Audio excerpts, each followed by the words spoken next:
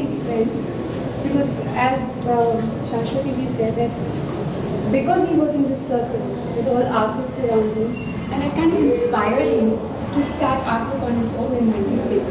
So that's when he started and we have the oldest painting right here, that's the first one in the. So this one we kept for his uh, grandchildren, his friends. So these are all the friends that wanted to be a part of the exhibition. And uh, that's how we kept this room as Maharaji's presence here. Yeah, wonderful. And him painting. So luckily we got a painting like this also. Such a good idea. And Such a uh, wonderful idea. Look at that. so Look at that. you really be impressed. Now there is a segment in the sketchbook where he's drawn these, uh, you know, how and the way you stand, and you can see that curve which is coming. He used to sign on his notebook and then See this one?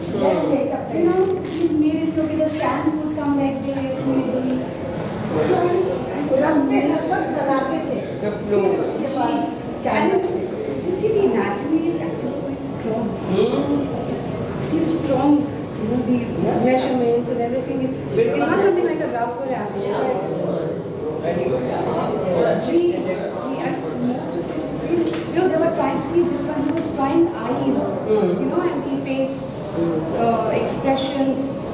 So, I mean, I, I really wish we could.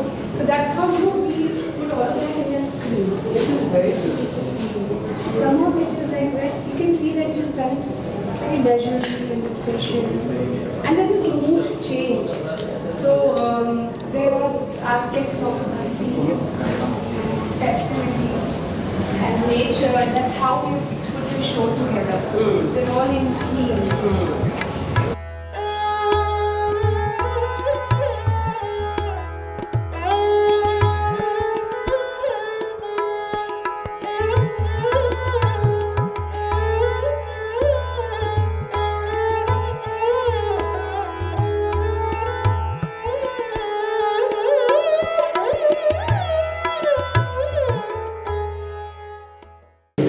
महाराज जी तो मतलब सब जैसे बोलते हैं, सर्वगुण संपन्ना। महाराज जी तो वैसे ही थे। हमारे हमारे लिए महाराज जी गुरु भी थे और पथ प्रदर्शक भी थे। हम लोगों को दिशा दिखाया, कहाँ क्या करना है, कैसे उसमें गायन, वादन, नृत्य सब कुछ उनमें भरा हुआ था। उनके उनके जैसे महान मैं तो इस जीवन में देखा नहीं है। इतना उनको भरा हुआ उनके पूरा गायन वादन नृत्य कुछ भी मन, मतलब वो नहीं है। उसमें देखिए पेंटिंग इतने ऐसे खूबसूरत पेंटिंग और उसमें सोच क्या है? क्या कलर कॉम्बिनेशन और एक एक उस चीज़ को सोच के कि नृत्य का जो धारा है और उसमें से क्या क्या निकलते हैं जो मतलब कृष्ण जी का और तो कृष्ण जी का सोच के वो तो हमेशा ही कृष्ण जी का भक्त थे। तो महाराज जी को तो हमने मतलब उनको प्रणाम करना है और मतलब गुरु ब्रह्मा, गुरु विष्णु गुरुदेव महेश्वर, गुरु साक्षात पर ब्रह्म तस्मय श्री गुरुवे नमो। महाराज जी हमारे लिए पूज्य है और मैं चाहती हूँ लोग देखें कि महाराज जी क्या क्या करके गए हैं। उनमें मतलब सारा दुनिया उनको देखना चाहिए कि क्या क्या किया है। कितने मतलब बच्चों को इतने अच्छा तालीम दिया है और आप लोग देखे हैं उनको कितना कुछ बजाते थे। देखा है ना?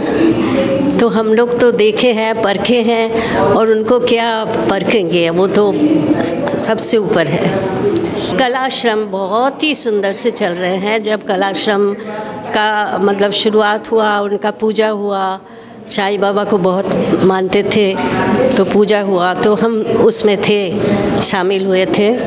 तो कलाश्रम भी बहुत सुंदर और इतने अच्छे, शाश्वती, इतने खूबसूरत से सारा कुछ इतना अभी शाश्वती जो है वो सारा कुछ देख रहे हैं। उसके भी दिमाग में क्या क्या चलता है महाराज जी को लेके और महाराज जी को सोच के शाश्वती उनके जो गुण का तो मतलब उसका तुलना नहीं है।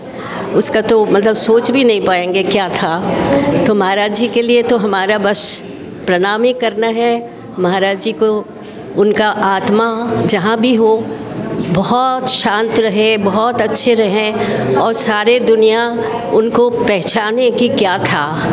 जो नहीं पहचाने, वो बहुत दुर्भागा है। तो पहचानना चाहिए कि बिरजू महाराज जी क्या थे।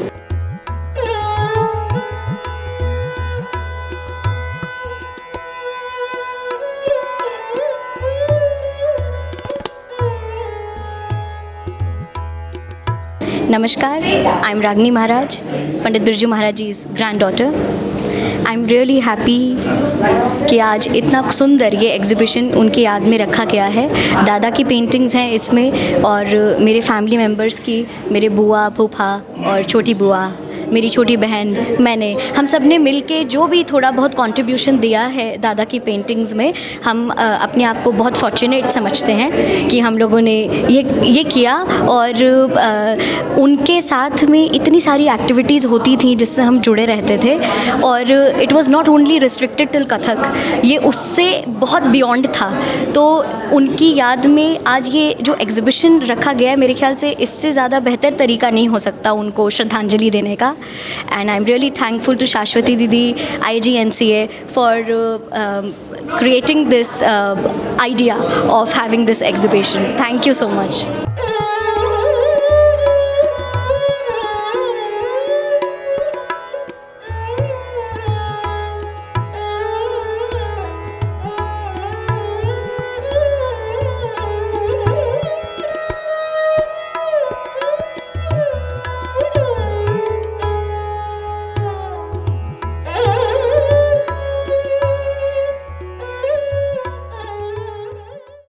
ऐसी कल्पना ही नहीं किए थे कि बिना महाराज जी के शरीर के हम लोग कोई एग्जीबिशन उनका, जबकि ये पिछले कई वर्षों से उनकी पेंटिंग का कलेक्शन चल रहा था। और हम लोग हमेशा कहते थे कि, बाबू, आप कुछ एग्जीबिशन वगैरह का भी प्लान करिए। अरे भैया, मैं कोई पेंटर तो हूँ नहीं। लेकिन देखिए, एक संगीतकार, कलाकार का जो एक आर्ट भाव होता है कहाँ कहाँ विज़न उन्होंने किया है और कितनी अच्छी पेंटिंग्स उन्होंने बनाई है। तो वो टोटल समर्पित कलाकार जिसको बोलते हैं ना, उसमें से एक मात्र वही थे महाराज जी, जिन्होंने अपने जीवन के हर कला क्षेत्रों को उन्होंने स्पर्श किया। ये बहुत बड़ी बात है, बहुत सारे आर्टिस्ट होते हैं, आए गए लेकिन महाराज जी ने कविताओं के ज़रिए पेंटिंग्स के ज़रिए, अपने घुंघरुओं के ज़रिए, अपने बातचीत के ज़रिए इतना सारा मैसेज इतना सारा बात छोड़ के गए हैं कि अगर एक चीज़ को भी लेके ज़िंदगी में अपना के कोई भी आर्टिस्ट वर्क करे तो हमेशा सफल रहेगा। हम लोग भाग्यशाली हैं कि उनके परिवार से हैं और एक अलग सी मोहब्बत थी। मेरे ससुर जी थे, लेकिन फिर भी मेरे साथ एक अलग से उनका बड़ा अच्छा प्यार था। हमेशा बुला के अपनी कविताओं को सुनाते थे पेंटिंग्स दिखाते थे। देखो साजन भैया, मैंने ये रात कल बनाई है। तो वो पल याद आ रहा है और मन बहुत भावुक भी हो रहा है। और बहुत बड़े कलाकार थे और वैसे तो जो भी आता है, जाने के लिए आता है लेकिन महाराज जी जैसे कलाकार न रहते हुए भी अपनी बातों को हम लोगों को कहते रहते हैं और उनका स्नेह, आशीर्वाद जो है, वो सदैव महसूस होता है कि हमारे साथ। आपके आपके और जी के साथ उन्होंने ऑन स्टेज भी बहुत चित्र हाँ चित्र बनाए बहुत सारे प्रोग्राम पंडित किशन महाराज जी राजन भैया महाराज जी हम जाकिर भाई तो बहुत सारे प्रोग्राम लंदन में बॉम्बे में बहुत सारे प्रोग्राम किए। और अक्सर वो भाव करने लगते थे हम लोग कभी गा रहे हैं तो भाव करते थे वो। और उनका स्नेह बहुत बड़ा था हम लोग के ऊपर और बड़ा प्यार से उन्होंने संगीत को, जैसे कि कोई मखमली चीज़ हो, उस तरीके से उन्होंने अपने संगीत की साधना की। और उसी तरीके से आप उनके पेंटिंग्स में देखेंगे, उनकी कविताओं में देखेंगे, जो भी कार्य किया, उसमें एक बड़ा कोमल स्पर्श है। तो वो कोमलता जो है, वो बहुत बिरले कलाकारों को मिलती है। हम लोग बहुत बड़े भाग्यशाली हैं कि ऐसे संत संगीतज्ञ के साथ अपना समय व्यतीत किए और वो हम लोग के साथ हैं। ऐसा महसूस होता है, जब भी उनको स्मरण करते हैं तो वो आ जाते हैं। और हम लोग गायक हैं, लेकिन उनका शिष्य भी मानते हैं, क्योंकि कभी कभी हमारे भी भाव हो जाते हैं। संगीत के जो बंदिशें हैं, उसमें कभी कभी कुछ उपज करते हुए उनके भाव आ जाते हैं तो कभी हाथ ऐसे हो जाएगा, कभी ऐसे हो जाएगा। तो ये सब उन्हीं का दिया हुआ आशीर्वाद। है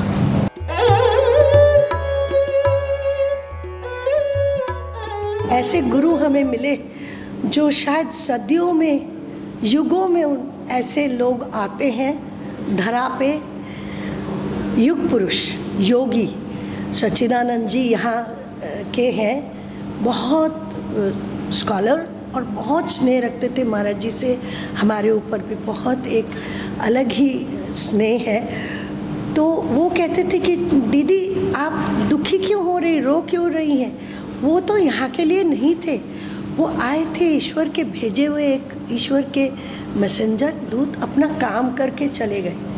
तो we are blessed that we could see him be with him I was with him for 51 years only इक्यावन वर्ष लोग अपने माँ बाप के साथ नहीं रह पाते। तो और मुझे तो उन्होंने कुम्हार की तरह से बिल्कुल जैसे ग्रूम किया पॉटर की तरह से मुझे तराशा, क्योंकि मैं तो एक बिल्कुल अलग विधा मेरे फैमिली में सब डॉक्टर्स, वैद्य परिवार है और मैं भी मेडिसिन पढ़ रही थी शुरू में, मेरे पिताजी की बहुत इच्छा थी कि मैं उनके, उनकी तरह मैं भी डॉक्टर बनूँ। Some the biggest greatest surgeons of our country are my ताऊ जी एंड चाचा जी बस वही था कि बचपन से एक शौक से सीखा था और फिर रेवा दीदी मेरी पहली गुरु और महाराज जी ने जब मेरे सर पे हाथ रखा and when when I saw him उस टाइम तक पेंटिंग नहीं शुरू किया था उन्होंने, पर उनका गाना, उनका वादन, उनका म्यूज़िक सरोज, सितार, न जाने क्या क्या वो बजाते थे। हम even as young learners aspiring learners हम सोचते थे, कैसे हो सकता है कि एक व्यक्ति के अंदर इतनी कलाएँ ईश्वर देता है? तो धीरे धीरे जब उनको पास से देखा और महाराज जी ने हम पर भरोसा किया, हमको अपना प्रधान शिष्य जैसे माना तो हमें लगा कि वाकई में और जब उनका मोक्ष में जाना हुआ तो बहुत टूट चुके थे हम लोग, पर बाद में यही लगा कि इतना दे के गए वो हमें, इतना दे के गए तो उसको तो हमें जनता में बखेरना है उनका, उनकी कला, उनका काम।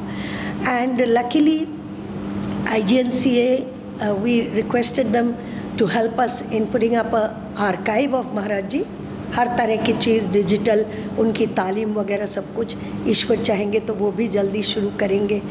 तो इन्होंने पूरी तरह से हमें मदद करने का वादा भी किया है। And then the first officer who went Achal ji उन्होंने ये सब देखा, हमने दिखाया कि ये ये चीज़ें हैं।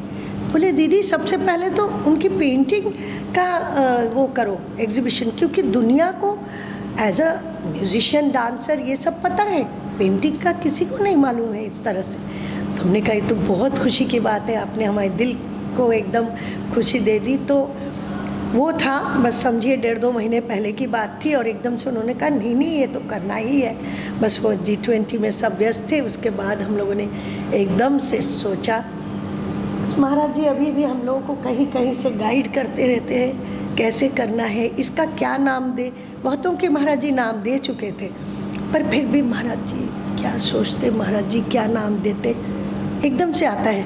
कि, अरे, ये है नाम इसका।